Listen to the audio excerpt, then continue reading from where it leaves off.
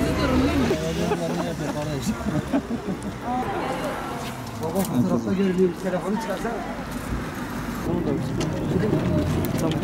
Yüksek Öğrenim Kredi ve Yurtlar Kurumu toplumsal hassasiyetler konusunda yurtlarda barındırdığı öğrencileri özellikle belli zamanlarda, belli dönemlerde e, bilinçlendirmek amacıyla farklı sosyal faaliyetleri gerçekleştiriyor.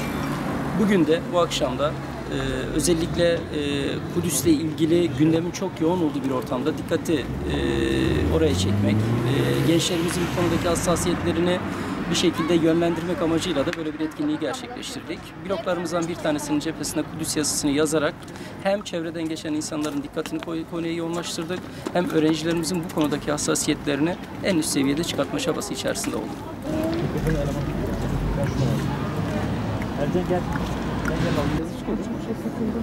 Yazı çıkıyor. Yazı. Benim şu an ışık